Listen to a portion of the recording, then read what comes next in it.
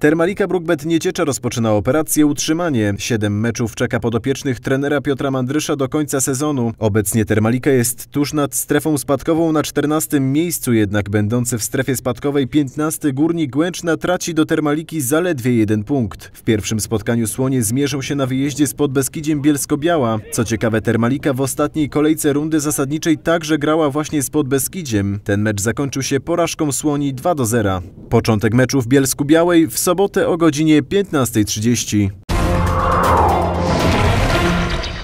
Już jutro na Stadionie Miejskim w Tarnowie Mościcach żużlowcy Jaskółek podejmą drużynę mistrza Polski ekipę Unii Leszno. Byki przyjadą do Tarnowa osłabione brakiem Emila Sajfudinowa. Żużlowcy Unitarnów do drugiej kolejki podejdą ze zdwojoną koncentracją po nieudanym spotkaniu w Grudziądzu, gdzie wysoko przegrali. Lider Jaskółek Janusz Kołodziej zapewnia jednak, że to początek sezonu i drużyna potrzebuje jeszcze trochę jazdy. Jest to początek sezonu, nie jesteśmy jeszcze dobrze na maksa rozjeździeni. E, nawierzchnia grudziącka jest bardzo specyficzna, jest bardzo, bardzo twarda.